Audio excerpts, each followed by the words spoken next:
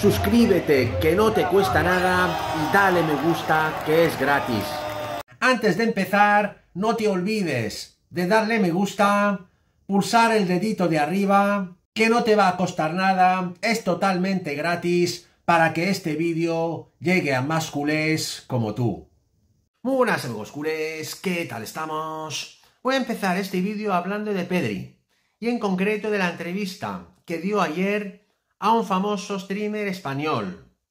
Pedri no está pasando por buenos momentos. Vamos a escucharlo. Bueno, ¿cómo te encuentras? ¿Todo bien? Bien, bien. Ahora no son los mejores momentos. He pasado un año complicado, pero, pero bueno. Tú, por ejemplo, Pedri, en el tema de, de, los entrenamientos, de la preparación, ahora que has estado padeciendo también tantas lesiones, ¿cómo, cómo las has gestionado?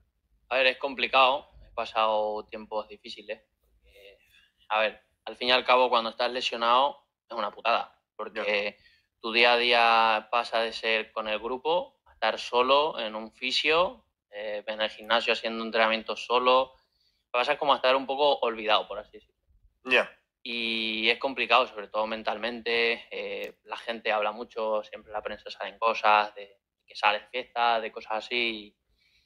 Y, es mentira, o sea, soy un tío que ni me gusta la fiesta ni nada de eso. y bueno, son cosas que, te duelen, mentalmente es complicado llevar todo esto, pero, pero bueno, siempre me encanta entrenar. Soy un tío que gracias a Dios le encanta levantarse por la mañana, ir a entrenar y, bueno, eh, lo, que daría por, por mi vida ser todos los días y, y bueno, lo único que quiero es jugar, al fin y al cabo he tenido las lesiones, pero, pero lo que no me permiten es jugar y es lo que me gusta.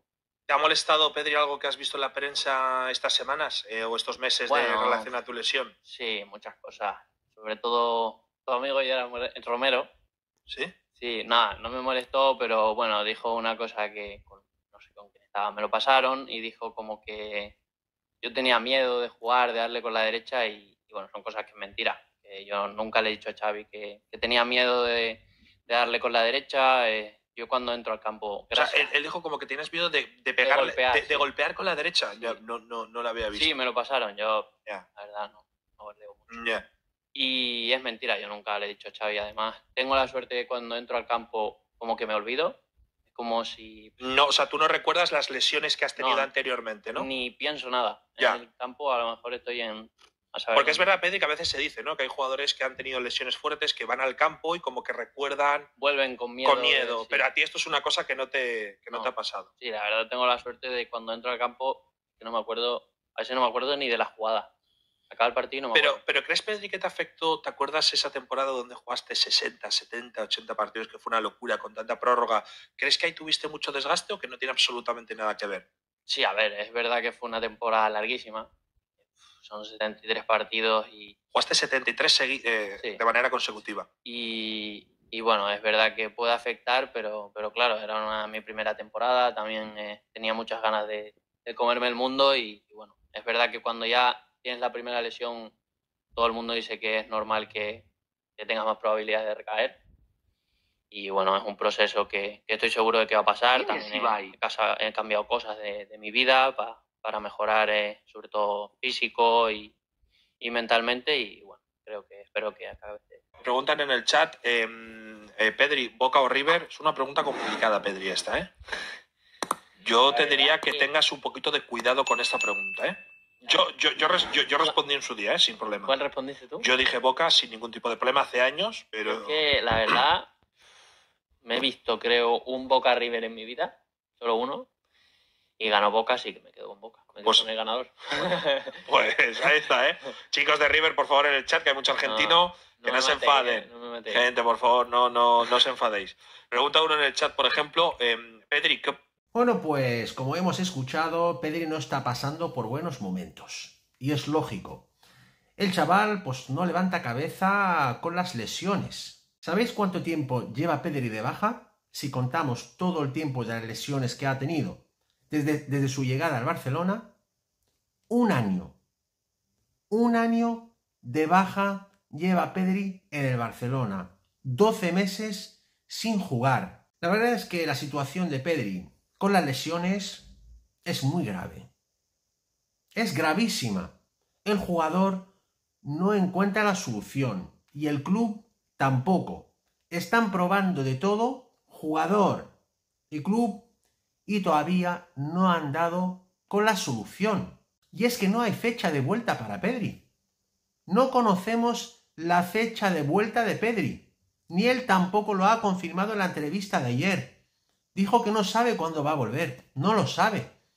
Está prácticamente descartado para el próximo partido contra Las Palmas y para la Supercopa de España de Arabia Saudí. Y a ver, a ver si llega para la Champions League. A ver si llega para la Champions League en enero. Y la verdad es que es un tema muy complicado. Es un gran, el Barça tiene un grave problema con Pedri. El jugador está perdiendo su valor. Ya ha perdido 10 millones de euros de su valor según Transfer Market. Su valor anterior era de 100 millones y ahora son 90 millones. Y va a seguir bajando. Va a seguir bajando el valor del jugador y el club va a seguir perdiendo. Pierde el jugador y pierde el club. ¿Y cuál es la solución? ¿Que el Barça siga aguantando que el jugador pierda su valor y él sigue sin jugar? ¿Lesionándose cada dos por tres? ¿Esta va a ser la solución? En mi opinión, pues esta no es la solución. Esta no es la solución. Porque es que estoy viendo algunos culés que dicen que hay que aguantar con Pedri así. ¿Hasta cuándo vamos a aguantar con Pedri así? ¿Un año más? ¿Dos años más? y el jugador perdiendo su valor, ni el club disfruta del jugador, ni el jugador disfruta jugando en el Barça. es que no levanta cabeza. No es capaz de aguantar seis partidos seguidos, Pedri, y lleva así casi dos años. Dos años sin poder aguantar ni seis partidos seguidos. Y el problema de hoy, el problema mejor dicho del fútbol de hoy moderno, es un fútbol muy físico. Y el Barça no tiene un equipo físico y necesita gente con mucho físico, cosa que Pedri no tiene.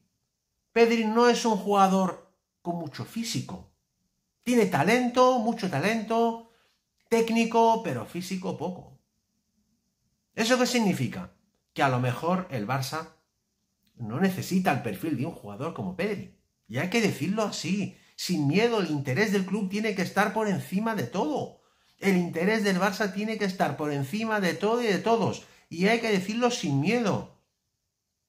A lo mejor un equipo que puede beneficiar a Pedri es un equipo físico, por ejemplo, como el Chelsea. Que no depende de que corra Pedri en el campo. Que dependa más de su talento, pero que no le hace falta que Pedri corra en el campo. Porque yo estoy seguro que como está la plantilla del Barça, es que Pedri va a volver y como va a estar obligado a correr, se va a lesionar.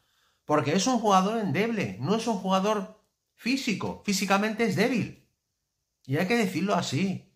Y yo creo que lo mejor y la solución va a ser venderlo. O sea, la venta de Pedri en el próximo verano va a beneficiar al club y al jugador. Tiene muchas ofertas. El PSG Luis Enrique está loco por él, por tenerlo en el PSG. Y está dispuesto a pagar hasta 100 millones. Han ofrecido 100 millones por Pedri. En la Premier también, también tiene mucho mercado. Y el Barça, pues, es que no va a tener otra solución más que venderlo. Yo, por ejemplo, prefiero vender antes a, Pedri que a Ronald Araujo. Es que no hace falta ni pensarlo. Porque el valor del jugador va a seguir bajando. Y el Barça va a salir perdiendo. Y tenemos que mirar el interés del Barça por encima de todo. El escudo, el interés del escudo tiene que estar por encima de todo y de todos. Así que, en mi humilde opinión, esta va a ser la solución. Y seguramente el club va a tomar la decisión de venderlo en verano. Es más, fuentes cercanas al club lo confirman. O sea que el Barça seguramente va a poner a pérdida de mercado en el próximo verano. Va a ser la única solución. Para el jugador, para el bien del jugador, va a estar mejor le va a venir bien cambiar de aire, su estilo de juego, que dependa de su físico y tal. Y el Barça también le va a venir bien. Va a ingresar dinero, va a evitar que el valor de un jugador baje y todos vamos a salir ganando. Si, si es que no tengo ninguna duda. Y ahora sigamos con el temazo principal. Bombazo de última hora de Xavi en el Barcelona. Fuentes cercanas al club aseguran que Legarense está pensando seriamente en cambiar el sistema de juego del Barça, sobre todo con la llegada de Vitor Roque. Xavi probará en los próximos partidos con el esquema 3-5-2 con Lewandowski y Vitor Roque en punta. La misma fuente afirma que Xavi piensa que Vitor Roque puede asociarse bien en el ataque con Robert Lewandowski y que el joven delantero brasileño pueda aprender de la gran experiencia que tiene el delantero polaco. A mí la verdad es que me parece bien al menos probar este nuevo esquema. Es más, con el 3-5-2 no solamente vamos a poder disfrutar de Robert Lewandowski y Vitor Roque en el ataque, sino también el centro del campo va a estar más protegido y también con más físico, lo cual va a beneficiar al Barcelona en el tema defensivo. Estaremos atentos a los acontecimientos. Esta ha sido mi grandísima noticia de hoy, amigos culés. No os olvidéis suscribirse a mi canal, que no os cuesta nada, pulsar un like como siempre y dejarme comentarios para cambiar opiniones. Muchas gracias, Forza Barça por siempre, vamos a por todas y nos vemos muy pronto en mi próximo vídeo. ¡Vamos!